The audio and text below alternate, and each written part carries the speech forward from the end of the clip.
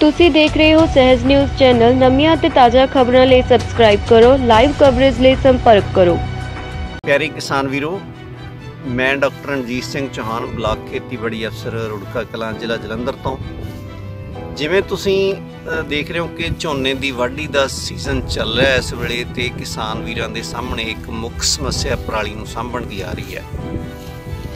ਖੇਤੀਬਾੜੀ ਵਿਭਾਗ ਨੇ ਪਿਛਲੇ ਦਿਨੀ ਕਾਫੀ ਜ਼ੋਰ ਲਗਾਇਆ ਕਿ ਆਪਾਂ ਪਰਾਲੀ ਨੂੰ ਜ਼ਮੀਨ ਦੇ ਵਿੱਚ ਹੀ ਸਾਂਭੀਏ। ਪਰ ਕੁਝ ਕੁ ਕਿਸ- ਸਾਡੇ ਕਿਸਾਨ ਵੀਰ ਨੇ ਜਿਹੜੇ ਉਹ ਪਰਾਲੀ ਨੂੰ ਖੇਤ ਦੇ ਵਿੱਚੋਂ ਬਾਹਰ ਕੱਢਣ ਲਈ ਗੰਢਾਂ ਬਣਾਉਣ ਨੂੰ ਤਰਜੀਹ ਦੇ ਰਹੇ ਆ। ਤੁਸੀਂ ਜਿਵੇਂ ਮੇਰੇ ਪਿੱਛੇ ਦੇਖ ਰਹੇ ਹੋ, ਸਾਰੇ ਖੇਤ ਦੇ ਵਿੱਚ ਗੰਢਾਂ ਬਣੀਆਂ ਪਈਆਂ ਨੇ। ਤੇ ਇਹ ਵੀ ਇਹ ਉਦਮ ਸਾਡੇ ਬਲਾਕ ਦੇ ਇੱਕ ਕਿਸਾਨ, ਨੌਜਵਾਨ ਕਿਸਾਨ ਨੇ ਕੀਤਾ ਆ। ਉਹਨੂੰ ਵੀ ਤੁਹਾਡੇ ਰੂਬਰੂ ਕਰਾਉਨੇ ਆ ਆਪਾਂ। ਤੇ ਉਹਨੇ ਉਦਮ ਕੀਤਾ ਦੋ ਮਸ਼ੀਨਾਂ ਪਰਾਲੀ ਦੀਆਂ ਗੰਢਾਂ ਬਣਾਉਣ ਵਾਲੀਆਂ ਲਿਆਂਦੀਆਂ ਤੇ ਸਾਡੇ ਬਲਾਕ ਪੂਰੇ ਰੁੜਕਾ ਕਲਾਂ ਦੇ ਵਿੱਚ ਕਾਫੀ ਕੰਮ ਜੋਰਾਂ ਤੇ ਉਹ ਕਰ ਰਿਹਾ ਹੈ। ਦੋਸਤੋ, ਦੇਖੋ, ਜੇ ਇਹ ਨੌਜਵਾਨ ਹਿੰਮਤ ਕਰ ਰਿਹਾ ਤੇ ਸਾਨੂੰ ਇਹਦੀ ਹੌਸਲਾ ਅਫਜ਼ਾਈ ਕਰਨੀ ਚਾਹੀਦੀ ਹੈ। ਭਾਵੇਂ ਜੇ ਅਸੀਂ ਗੰਢਾਂ ਬਣਾ ਲਈਏ ਜ਼ਮੀਨ ਦੇ ਵਿੱਚ ਤਾਂ ਨਹੀਂ ਇਹ ਪਰਾਲੀ ਰਹਿਣੀ, ਪਰ ਖੇਤ ਜ਼ਰੂਰ ਸਾਡਾ ਅੱਗ ਲਾਉਣ ਤੋਂ ਬਚ ਜਾਊਗਾ ਤੇ ਪਰਾਲੀ ਨੂੰ ਅਸੀਂ ਬਾਹਰ ਕੱਢ ਕੇ ਇਹ ਜਿਹੜੇ ਦੱਸ ਰਹੇ ਨੇ ਸਾਨੂੰ ਅਮਨਦੀਪ, ਇਹਨਾਂ ਦਾ ਨਾਮ ਆ ਨੌਜਵਾਨ ਦਾ, ਬੰਡਾਲਾ ਪਿੰਡ ਹੈ ਇਹਦਾ। ਇਹ ਕਹਿ ਰਿਹਾ ਕਿ ਇਹ ਜਦੋਂ ਅਸੀਂ ਗੰਢਾਂ ਬਣਾ ਲੈਂਦੇ ਨਾ, ਤਾਂ ਫਿਰ ਆਪਣੇ ਆਪ ਹੀ ਖਰੀਦਣ ਵਾਲੇ ਆ ਜਾਂਦੇ ਆ, ਖੇਤ ਦੇ ਵਿੱਚ ਹੀ। ਉਹ ਕਹਿੰਦੇ ਆ, ਗੁੱਜਰ ਆ ਜਾਂਦੇ ਆ ਜਾਂ ਹੋਰ ਵੀ ਬਹੁਤ ਸਾਰੇ ਕਿਸਾਨ ਇਦਾਂ ਦੀ ਜਿਨ੍ਹਾਂ ਨੇ ਇਹਨੂੰ ਵਰਤੋਂ ਦੇ ਵਿੱਚ ਲਿਆਉਣਾ। ਉਹ ਇਹਨੂੰ ਲੈਣ ਲਈ ਆ ਜਾਂਦੇ ਆ। ਸੋ ਹੁਣ ਜਿਹੜੀ ਮ- ਆਪਾਂ ਜਿਹੜੀ ਖੇਤ ਦੀ ਗੱਲ ਕਰ ਰਹੇ ਆ ਇਹਦੇ ਵਿੱਚ ਜਿਹੜੀ ਪਰਾਲੀ ਦੀਆਂ ਗੰਢਾਂ ਬਣ ਰਹੀਆਂ ਨੇ, ਇਹਨਾਂ ਦੇ ਦੱਸਿਆ ਕਿ ਤਕਰੀਬਨ 200 ਏਕੜ ਹੈ। ਜਿਹਦੀ ਪਰਾਲੀ ਦੀਆਂ ਗੰਢਾਂ ਬਣਾ ਕੇ ਗੁੱਜਰਾਂ ਨੇ ਹੀ ਸਾਂਭ ਕੇ ਰੱਖ ਲੈਣੀਆਂ। ਉਹਨਾਂ ਨੇ ਆਲਰੇਡੀ ਇਹ ਖਰੀਦ ਚੁੱਕੇ ਆ ਗੁੱਜਰ। ਸੋ ਮੈਂ ਤਾਂ ਕਹਿੰਦਾ ਕਿਸਾਨ ਵੀਰੋ, ਸਾਨੂੰ ਹੰਬਲਾ ਮਾਰਨਾ ਚਾਹੀਦਾ, ਇਹੋ ਜਿਹੇ ਨੌਜਵਾਨਾਂ ਦੀ ਹੌਸਲਾ ਅਫਜ਼ਾਈ ਕਰਨੀ ਚਾਹੀਦੀ ਹੈ ਆਪਾਂ ਸਾਰੇ ਕਿਸਾਨ ਰਲ ਕੇ ਇਹਦੇ ਤੋਂ ਗੰਢਾਂ ਬਣਵਾ ਲਈਏ। ਹੋ ਸਕੇ ਤਾਂ ਖੇਤੀਬਾੜੀ ਵਿਭਾਗ ਨੇ ਜਿਹੜੀਆਂ ਮਸ਼ੀਨਾਂ ਤੁਹਾਨੂੰ ਸਬਸਿਡੀ ਦੇ ਉੱਤੇ ਦਿੱਤੀਆਂ ਨੇ, ਉਹਨਾਂ ਦੇ ਨਾਲ ਜ਼ਮੀਨ ਦੇ ਵਿੱਚ ਹੀ ਇਹਨੂੰ ਪਰਾਲੀ ਨੂੰ ਸਾਂਭੀਏ।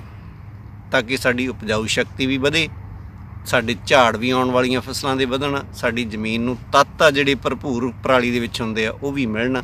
ਸੋ ਮੈਂ ਤਾਂ ਇੰਨੀ ਬੇਨਤੀ ਕਰਨੀ ਚਾਹੂੰਗਾ, ਕਿਸੇ ਵੀ ਤਰੀਕੇ ਆਪਾਂ ਪਰਾਲੀ ਨੂੰ ਅੱਗ ਨਹੀਂ ਲਾਉਣੀ, ਭਾਵੇਂ ਅਸੀਂ ਗੰਢਾ ਬਣਾ ਕੇ ਇਹਨੂੰ ਸਾਂਭੀਏ, ਭਾਵੇਂ ਇਹਨੂੰ ਜ਼ਮੀਨ ਦੇ ਵਿੱਚ ਸਾਂਭੀਏ। ਸੋ ਇਹੀ ਬੇਨਤੀ ਖੇਤੀਬਾੜੀ ਅਤੇ ਕਿਸਾਨ ਭਲਾਈ ਵਿਭਾਗ ਵੱਲੋਂ ਤੁਹਾਡੇ ਸਾਹਮਣੇ ਹੈ। ਹਾਂਜੀ, ਸਤਿ ਸ਼੍ਰੀ ਅਕਾਲ ਕਿਸਾਨ ਵੀਰੋ। ਮੇਰਾ ਨਾਮ ਅਮਨਦੀਪ ਸਿੰਘ ਸੰਧੂ, ਪਿੰਡ ਬਡਾਲਾ ਬਲਾਕ ਰੁੜਕਾ ਕਲਾਂ, ਜ਼ਿਲ੍ਹਾ ਜਲੰਧਰ, ਤਹਿਸੀਲ ਫਲੌਰ ਆ ਜੀ। ਮੈਂ ਕਿਸਾਨ ਵੀਰੋ, ਇੱਕ ਛੋਟਾ ਜਿਹਾ ਉਪਰਾਲਾ ਕੀਤਾ ਆ, ਪਰਾਲੀ ਨੂੰ ਸਾਂਭਣ ਦਾ ਜੀ। ਤੇ ਮੈਂ ਇੱਕ ਬੇਲਰ ਮਸ਼ੀਨ ਲੈ ਕੇ ਆਇਆ ਜੀ, ਕਿਉਂਕਿ ਪਿਛਲੇ ਕਾਫੀ ਦਿਨਾਂ ਤੋਂ ਇਹ ਗੱਲਾਂ ਮਤਲਬ ਆ ਰਹੀਆਂ ਆ ਵੀ ਆਪਾਂ ਨੂੰ ਵਾਤਾਵਰਨ ਨੂੰ ਸਾਂਭਣਾ ਚਾਹੀਦਾ ਜੀ। ਮੈਂ ਖੇਤੀਬਾੜੀ ਯੂਨੀਵਰਸਿਟੀ ਤੋਂ ਟ੍ਰੇਨਿੰਗ ਵੀ ਲਈ ਹੋਈ ਹੈ ਜੀ। ਮੈਂ ਆਪਣੇ ਚੌਹਾਨ ਸਾਹਿਬ, ਡਾਕਟਰ ਚੌਹਾਨ ਜੀ, ਇੱਥੇ ਸਾਡੇ ਬਲਾਕ ਖੇਤੀਬਾੜੀ ਅਫਸਰ ਨੇ ਜੀ। ਉਹਨਾਂ ਕੋਲ ਵੀ ਤਕਰੀਬਨ ਆਉਂਦਾ ਜਾਂਦਾ ਰਹਿੰਦਾ ਤੇ ਉਹਨਾਂ ਨੇ ਮੈਨੂੰ ਕਾਫੀ ਪ੍ਰੇਰਿਤ ਕੀਤਾ ਬਈ ਆਪਾਂ ਪਰਾਲੀ ਨੂੰ ਵੱਧ ਤੋਂ ਵੱਧ ਮਤਲਬ ਸਾਂਭਣ ਦੀ ਟਰਾਈ ਕਰੀਏ ਕਿਸੇ ਨਾ ਕਿਸੇ ਤਰੀਕੇ।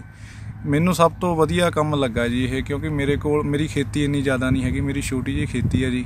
ਤੇ ਪਰ ਮੈਂ ਇਹ ਕੰਮ ਨੂੰ ਕਮਰਸ਼ੀਅਲ ਤੌਰ ਤੇ, ਵਪਾਰਕ ਤੌਰ ਤੇ ਇੱਕ ਕਿੱਤੇ ਦੇ ਵਜੋਂ ਇਹਨੂੰ ਵਰਤਣਾ ਠੀਕ ਸਮਝਿਆ ਜੀ। ਤੇ ਮੈਂ ਹੁਣ ਇੱਕ ਇਹ ਸ਼ਕਤੀਮਾਨ ਦੀ ਮਸ਼ੀਨ ਹੈ, ਇੱਕ ਮੇਰੇ ਕੋਲ ਹਾਲੈਂਡ ਦੀ ਮਸ਼ੀਨ ਹੈ ਜੀ, ਦੋ ਮਸ਼ੀਨਾਂ ਹੈ ਜੀ। ਤੇ ਕਿਸਾਨਾਂ ਦਾ ਮਤਲਬ ਝੁਕਾਅ ਹੈ, ਜਿਹੜੇ ਕਿਸਾਨ ਹੈਗੇ ਆ ਜੀ, ਵੀ ਉਹ ਨਹੀਂ ਚਾਹੁੰਦਾ ਕੋਈ ਵੀ ਕਿਸਾਨ ਵੀ ਸਾਡੇ ਖੇਤਾਂ ਦੇ ਵਿੱਚ ਅਸੀਂ ਪਰਾਲੀ ਨੂੰ ਅੱਗ ਲਾਈਏ, ਪਰ ਉਹਨਾਂ ਦੀ ਇੱਕ ਮਜਬੂਰੀ ਵੀ ਹੈਗੇ। ਜਿੱਥੇ ਮਸ਼ੀਨ ਮਤਲਬ ਜੇ ਅਸੀਂ ਮਸ਼ੀਨਾਂ ਹੀ ਜ਼ਿਆਦੀਆਂ ਕਰ ਲਈਏ ਜੀ ਤਾਂ ਮੈਨੂੰ ਨਹੀਂ ਲੱਗਦਾ ਬਈ ਸਾਡੇ ਖੇਤੀ ਇਹਦੇ ਪਰਾਲੀ ਨੂੰ ਅੱਗ ਲੱਗੂਗੀ ਜਾਂ ਕੋਈ ਗੱਲਬਾਤ ਹੋਊਗੀ। ਇਹਨੂੰ ਵਪਾਰਕ ਤੌਰ ਤੇ ਆਪਾਂ ਵਰਤ ਸਕਦੇ ਹਾਂ। ਤਕਰੀਬਨ ਅਸੀਂ ਅ, 1500 ਤੋਂ ਲੈ ਕੇ 22 2300 2400 ਤੱਕ ਖੇਤ ਦਾ ਅਸੀਂ ਬਣਾਉਣ ਦਾ ਲੈਨੇ ਆ ਜੀ। ਤੇ ਉਹ ਸਾਡੀ ਜਿਹੜੀ ਲਾਗਤ ਆ ਜੀ ਤਕਰੀਬਨ ਜ਼ਿਆਦਾ ਤਾਂ ਗੁੱਜਰ ਭਾਈਚਾਰੇ ਦੇ ਜਿਹੜੇ ਲੋਕ ਆ ਜਿਨ੍ਹਾਂ ਨੇ ਪਸ਼ੂ ਰੱਖੇ ਆ ਉਹੀ ਲੈ ਜਾਂਦੇ ਆ ਜੀ। ਜਾਂ ਕੁਝ ਲੋਕ ਜਿੱਦਾਂ ਕਿਸਾਨ ਆ ਉਹ ਵੀ ਰੱਖਣਾ ਇਹਨੂੰ ਪਸੰਦ ਕਰਦੇ ਆ ਵੀ ਅ, ਜਿਨ੍ਹਾਂ ਕੋਲ ਪਸ਼ੂ ਹੈਗੇ ਆ ਜੀ। ਸੋ ਮਤਲਬ ਮੇਰੇ ਹਿਸਾਬ ਦੇ ਨਾਲ ਤਾਂ ਆਪਾਂ ਨੂੰ ਇਦਾਂ ਦੇ ਕੰਮ ਹੀ ਕਰਨੇ ਚਾਹੀਦੇ ਆ। ਅੱਗ ਨਹੀਂ ਲਾਉਣੀ ਚਾਹੀਦੀ ਖੇਤਾਂ ਦੇ ਵਿੱਚ। ਕਿਉਂਕਿ ਜੇ ਅੱਗ ਲਾਉਂਦੇ ਆ ਮਿੱਟੀ ਦੀ ਉਪਜਾਊ ਸ਼ਕਤੀ ਵੀ ਘਟਦੀ ਆ ਤੇ ਵਾਤਾਵਰਨ ਬਹੁਤ ਜ਼ਿਆਦਾ ਖਰਾਬ ਹੁੰਦਾ ਜੀ। ਤੇ ਅਸੀਂ ਮਤਲਬ ਕਿਉਂ ਉਸ ਚੀਜ਼ ਦੇ ਭਾਗੀ ਬਣੀਏ ਜਿਹੜੀ ਚੀਜ਼ ਆਪਾਂ ਨੂੰ ਕਰਨੀ ਨਹੀਂ ਚਾਹੀਦੀ? ਠੀਕ ਹੈ ਜੀ, ਧੰਨਵਾਦ ਜੀ।